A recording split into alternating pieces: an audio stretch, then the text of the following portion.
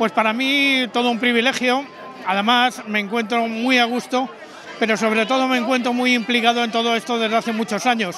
Entonces el que alguien haya llevado lo que era mi sueño, digamos, a la realidad, hombre, pues me emociona, porque no vamos a decir que no, claro, lógicamente.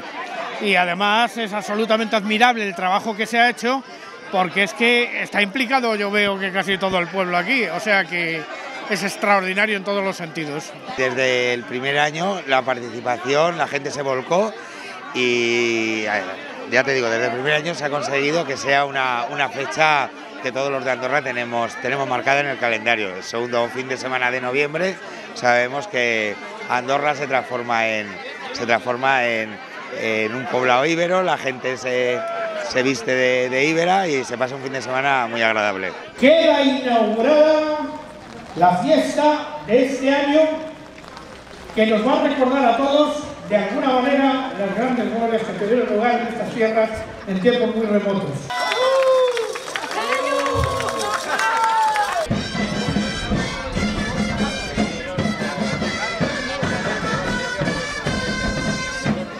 Todos los andorranos han decidido que esto sea un lugar especial donde el pasado de alguna manera se revive con la potencia que tuvo en su momento, con más o menos esa actitud, pero eso no importa, lo que importa es la intención y eso es lo que hace que conceda ese poder importante a este lugar.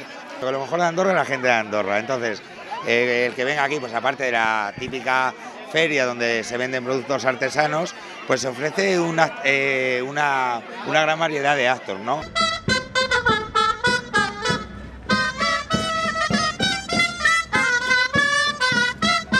Los romanos, para que te hagas una idea, hay 11 clanes íberos y uno de romanos.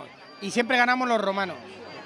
Hombre, pues la verdad es que, bueno, si veis aquí lo que hay, mucho ambiente, ¿eh? mucho ambiente y luego hermandad y nos pasamos muy bien. Los unos contra los otros es un poco, yo creo que es una fiesta distinta. Hoy tenemos lo que tenemos, el Cabo de en San Macario, que es la reconstrucción del poblado íbero. Se hacen estos días también visitas guiadas. Desde aquí, desde el ayuntamiento, se han preocupado un poco, pues eso, de que se le dé vida a lo que es el municipio, porque todos también sabemos un poco lo que se atraviesa en el, en el pueblo. Entonces es un poco eso, reinventarse y sacar a flote, pues eso, eh, esta fiestecilla. Y la verdad que es un fin de semana lleno de actividades, actividades artesanales para los más pequeños y, y buen ambiente y fiesta. Pues bueno, yo os invito a todos que aunque el tiempo no acompañe, la gente de Andorra os acompañará.